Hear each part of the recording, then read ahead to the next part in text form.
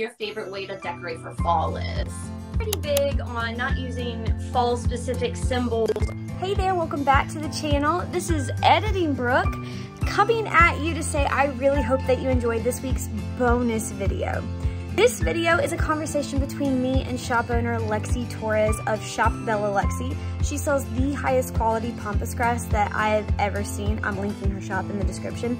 But we were sitting down and talking all things fall fall trends that we're seeing, fall home decor tips, everything fall. So if you are excited and ready for some really good nuggets, I hope you enjoy this video. And if you don't wanna watch it, listen to it in your headphones like a podcast because there are so many great tips in here and I don't want you to miss them. I also am linking a blog post in the description where I have all of the best tips all in one place so that way you can go check it out at any time. And without further ado, here's the conversation between me and shop owner Lexie Torres about fall and I hope you are ready. So enjoy. Hi. How are you? I am good. How are you? Good, good. It's so nice to finally meet you. Yes, I know. It is. It's good. I was like, I need to add Kelly. And then I was like, wait a minute. That's not her name. I was like, where did I get that from? No, you're good. You're good. Um, how are you today? I'm good. Just Yeah. been- yeah, I got a walk in, and so that's always nice. But it is hot. I didn't make it for long. Yeah. Is it where are you located again? South Carolina, so it's Okay. like the Yeah. heat of the South right now. Yep. Yeah. I'm in California and it's pretty hot here too. So yeah, I believe it. Yeah, yeah, just kind of a heat wave everywhere, I guess. I think it is for sure. Yeah. yeah.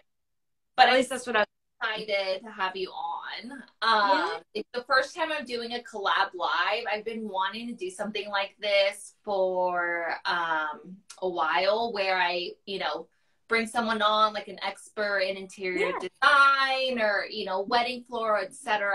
that um, can just kind of talk about you know, like for the home decor, you know, your expertise, what you like, what you don't like, um, the trends you're seeing, and all of that good stuff. So I'm excited to have you. I'm excited too. This is my first collab live, also. So Nice. very- yeah, many, hopefully. I hope so. Hopefully Yeah. we're up for it again. Um, but I want it to be fun and just like, you know, um, kind of um what's that word? I'm totally drawing a blank. Just like giving our audience like, you know, knowledge and I just want to pick your brain. Tell me a little bit about where school and all of that good stuff. Yes. So I went to school at Winthrop University for interior design. I got my degree, and then I actually worked as a professional interior designer for three years in the commercial field. So I designed like schools and offices and things like Oh. that. And then I switched over and did high end residential for about a year before I started pulling back to do my blog and YouTube channel full time. So That is Yeah. so cool. Now, when I hear about like people designing like commercial spaces, um, you said high end residential. Were you like actually building the house structure or more of like the decor inside? So with the commercial, I worked for a place that did like the office furniture is primarily what we did. Um, so the buildings were already there. We didn't do any construction. With the residential, it was high end remodels. So um, we we really took down some walls and knocked some things around. So yeah. Wow, So cool. So I see that you do a lot of like remodeling on your YouTube, right? Yeah, so I do a lot of home decor now, more residential, but my heart, which I kind of discovered this when I was working full time, my heart is like everyday home design, you know, accessible and approachable home design so that anyone can have like a really beautiful home that they love because it's it's important. And I think that HGTV and and the way that we see things sometimes it feels really out of reach. And i so i love showing thrifting and how you can use thrifted decor and how you can make small changes with what you already have. And so that's kind of where my heart is when it comes to interior design. So that's I what I'll have there's this one influ- influencer that I've worked with, and she did a couple pictures in um, of our pampas in a vase, and everyone always asks me like, "Where's that vase from?" Like, I that vase. And I, someone said they love my orange pillow. Thank you. uh, and I'm like, I asked her where she got it, and she said she got it at a thrift shop, you know? So it's like, sorry guys, like, you know, it's kind of a one of a kind. And then I kind of send them to, you know, there's like Anthropologie and that have like these like rattan vases, but a lot more than uh the thrift store, right? Oh yeah, yeah. Yeah. So I, I definitely I mean a lot of my home decor is thrifted and um so yeah. it's it's definitely a very good resource for sure. Yeah yeah i definitely want to do that more especially for vases i feel like you can find like some gold nuggets there you know? What's oh, your favorite item that you found at a thrift store? Like your absolute favorite. That's tough. Um probably one of them is probably actually this frame behind me. Yeah uh, so yeah, so finding that large frame, that's probably one of them. I feel like there's something else too. It it has to be probably a vase, like you said. I've I've definitely yeah. really good deals with that, and for amazing prices. You just can't beat it. I mean, the price is half the game when you're going. You're like, I can't believe this. So, yeah. Yeah. That's cool. So um, I should introduce myself. I'm Alexis, the owner yeah. of Lexie. And so I started selling Pampas grass in August of 2020. So I'm kind of coming up on a two year mark.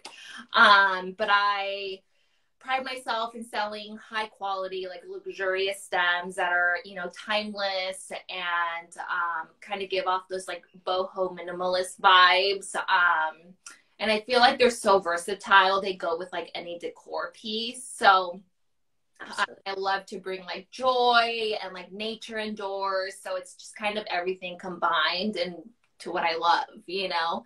Um, so I know that, you know, maybe some of your audience is coming on. So I wanted to just kind of throw that in there. Um, yeah. What would you say your home decor style is? So I would say my style is definitely a mix of styles, which is actually what I recommend to most people is to pick two or three different styles. You just name that you're minimalist and boho two yeah. or three different styles because the way you mix those styles together is what makes it uniquely you.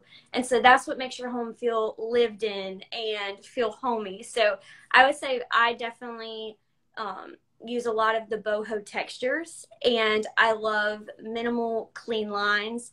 And then I also love a touch of vintage character. So yeah. I mix the three quite often. I love that. I feel like that's me too. Maybe with a little bit of glam, but yes. you know, it's like, and every room, right, is different. I'm assuming, right? Yes. Yeah. Yeah, they all have like a different pull to them, but if you pull the different elements out, you you'll find a common denominator throughout the whole house, and I'm sure that you will as well. Yeah, yeah, no, totally. And I'm always like moving things around everywhere, like just energetic. Shopping your house. Yeah. yeah. Like this doesn't feel right. Let's just move this here and um just kind of spice things up, I guess, a little bit. yes. Um, so I know our talk was based on like fall, fall trends and decor. So tell me, do you like fall, fall decor? Yeah. So when it comes to fall, I feel like most people are really obsessed with fall. And I just never have been like that level of obsessed, yeah. but yeah. obviously I do love how it gets cooler. I love that, you know, there's not as many bugs. So I do enjoy fall. And now that I have my own house, I really enjoy bringing in the new seasons with decor and, and it feels like I can, you know, embrace them a little better. So yes, I definitely love fall. Yeah. I'm just not quite as obsessed what as do you think that is? Do you think it's because of Starbucks and the, and the pumpkin latte? Because I'm actually all for that. Yes, I I agree. I, I I'm not sure what it is. I don't know if it's just like the cozy clothing and vibe. I, I don't I don't know. But yeah, maybe all the I, yeah. I get it, but I've just never been that obsessed with it. But I definitely do love decorating for fall. Yeah. Yeah.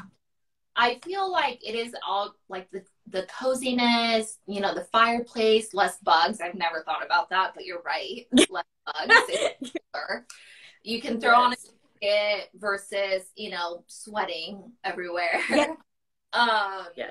you know, the plaid and and things slowing down a little bit, right? And it's kind of getting ready for like the holidays and back to school, things just slow down, you know. Like I feel like that's like the energy I'm getting with fall, and I like to kind of celebrate that, right? A sense of. I also think maybe it's a like pre-holiday excitement too. Like it's almost yeah. there, but not quite. And I, am not yeah. sure, but it's just I definitely agree. Yeah, yeah. What would you say um, your favorite way to decorate for fall is? Um, I would say I'm pretty big on not using fall specific symbols or using just like fall specific items. I definitely approach it more from a texture and color standpoint. So I'll swap out, you know, different color blankets for darker ones or for thicker ones, for plusher ones. You know, I might remove some of this floral from back here and replace it with more solid or maybe some plaid or stripes or something. So I kind of lean toward you know, using more, I guess, solids and uh, colors and things like that.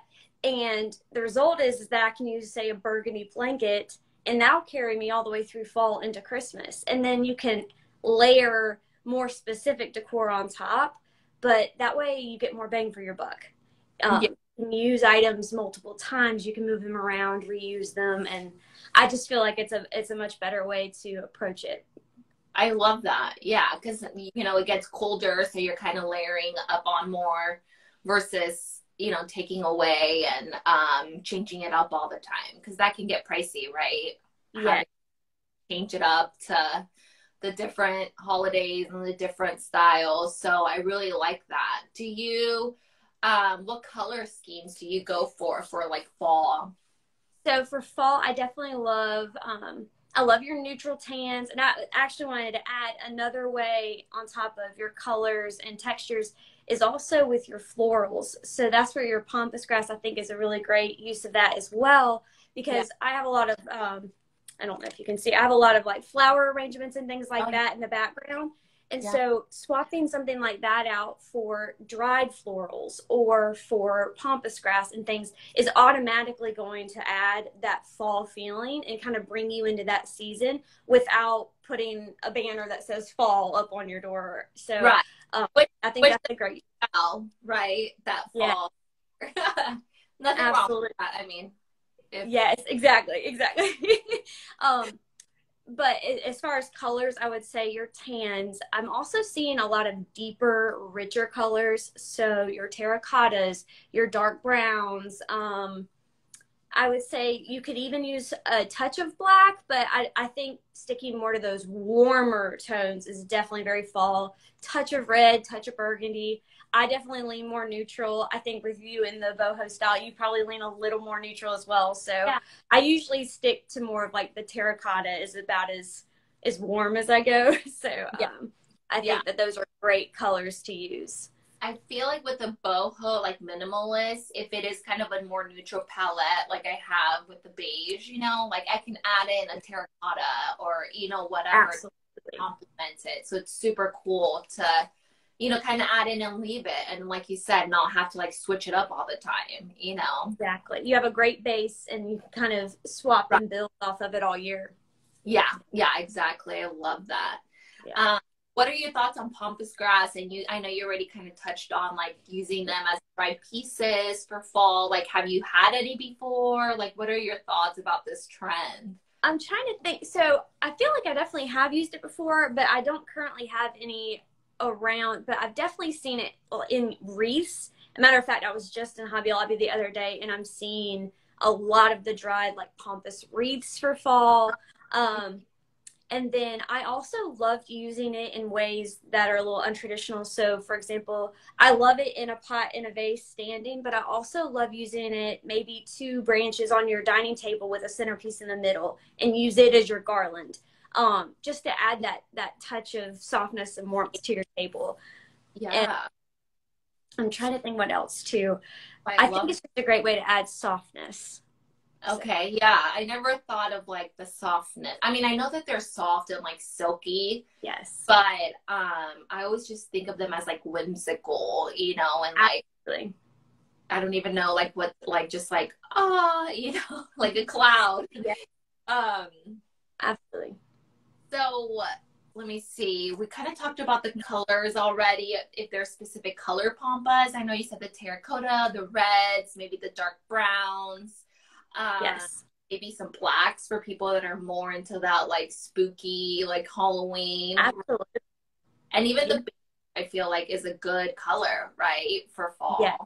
Yeah. Absolutely. And also, I mean, the the more natural color that also works well for fall because it gives off that dried kind of like the autumn seasons changing things are kind of dying kind of um yeah that doesn't really sound great but that's what happens in the fall so i would yeah. say any of the colors on the leaves that are falling those are kind of the colors you want to look for yeah um, that. Yeah. We don't really that in California, but I pictures and movies. Yes. Oh wow! I never thought about it. Yeah, it's pretty much the same here all year round. It's pretty crazy. Yeah, yeah that is crazy. Yeah, because yeah. we're already not the time, but we're already getting some leaves. Yeah. Oh yeah, I kind of love that. I do. I went yeah. to Michigan a couple years ago and it was really cool like the trees and the colors it was like magical but i can yeah, always for a while and then it all turns dead in the winter it's just yeah. sticks um so what new fall trends are you seeing for this upcoming season is there anything that you're seeing that's kind of different than the year before yeah, maybe I just wasn't paying attention, but I feel like this year I'm seeing jewel tones a lot um, for pumpkins. And so, like deeper, darker tones, where I feel like in the past few years, I've seen a lot more like the more neutral pumpkins, and I've seen like the um, the textured pumpkins. But what I'm seeing is different textures. So, in the past and returning is like the knit pumpkins and the burlap pumpkins and things like that. This year, I'm seeing velvet, which I saw last year, but I'm yeah. seeing it again this year.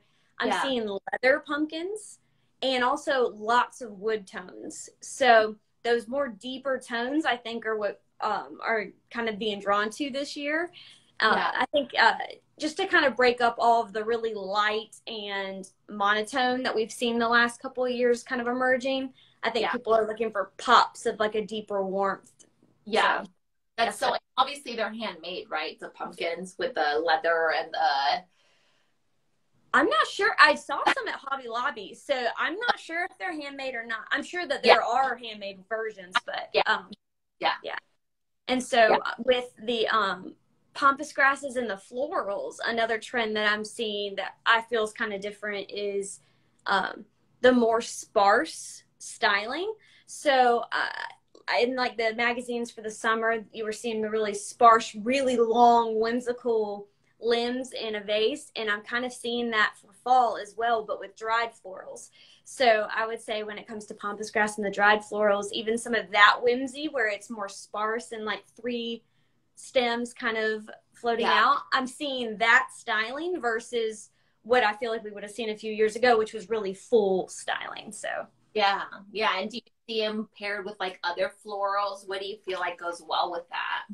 Yeah, so I think you could probably go either way, and this would be a situation that depends on which vase you're kind of styling in. But I would say anywhere from three to five stems, depending on the size of your vase, and then you could mix and match your heights and also your texture. So if you did a pampas grass that's more on the soft side, I would probably add something that's a more uh, richer, darker, dried grass, or maybe um, I think you have the bunny tails. Is that what they're called? Maybe yeah. a brown bunny tail with the neutral um, pampas. Yeah, just mix those in. Yeah, yeah, like just the different sizes and textures and colors. I've seen um, people leave reviews on my shop and. I can think of one where she did do like the pampas and then the little bunny tails in dark colored, which was interesting I hadn't seen that before, so that's super cool that you mentioned. Yeah. yeah. Um and then is there any are there any trends that you like are over that you just want to kind of see? yeah. So, well, I personally am not a fan of anything that kind of says things. I'm not a fan of like the the signs that say things, I much prefer textures and patterns and colors to kind of speak for themselves. But I know that they're super popular and they Yeah. bring a lot of people joy. So I, Yeah. I get it. It's just not personally my thing. And I would love to see, I guess, a little less of it. And so that way there's a little bit more. Because I feel like I'm always picking up a pillow that I love and then it says something. I'm like, oh. so, um, yeah, probably the one trend. I, Yeah. Yeah, that's so funny. Yeah. Well, let me see. I'm trying to see. Do you have any questions for me or anything like that? Um, Yeah. So you've been doing it for two years. What have you seen for fall? I'm sure you see shifts in what people kind of are drawn to at different times of the year. So, yeah. what pampas grasses really get popular at this time of year? Well, I feel like it kind of slows down for summer, like the very bright. I'm getting a lot of orders for like bright colors. Um, like kind of like you mentioned, people are wanting like pops of color. I feel like, you know, since the pandemic, now we're kind of shifting out of that. So people are like ready to live their best lives and are like, you know, I want to be inspired by these pop of colors and, you know, going out and doing this stuff. You know what I mean? Um, Yeah. So I see the same thing with fall, like the terracotta colors. Um, surprisingly, I see a lot of black being popular, which is, I, yeah, I feel like Yeah. Halloween is like a big deal in terms of like decor, and people kind of really embrace that, you know, like that mood, those moody vibes, and um, so that one, but terracotta for sure, um, has Yeah. You know, I don't know how long it's going to stay for, and I don't mind it. I think it's a really pretty color. Um, No. But especially for weddings and events, you know, for the fall, I see a lot of terracotta and like the kind of like the beige with it, you know, kind of natural. Oh, color. yeah. But, um, and like the red, and yeah, I feel like they're all just really popular. It's kind of hard to choose, you know, which one is the most, but definitely just the pop of colors for sure. Okay. Yeah. yeah. Yeah. I feel like for sure I can see the terracotta being popular. And I Yeah. think, I think all the, the different tones that you offer, I can see them all really just being popular in the fall because they all do kind of have that whimsical and not not as floral look to them that really fit that fall coziness. So I can totally see that. Yeah. Yeah, yeah. So I'm really excited. We are launching um, some fall products the first of Yeah. September. So I'm doing some sneak peeks in the upcoming weeks on like what's gonna, you know, be in that launch, the colors, the type. There's gonna be different types of pampas, and I just want to offer a variety. You know. Yeah.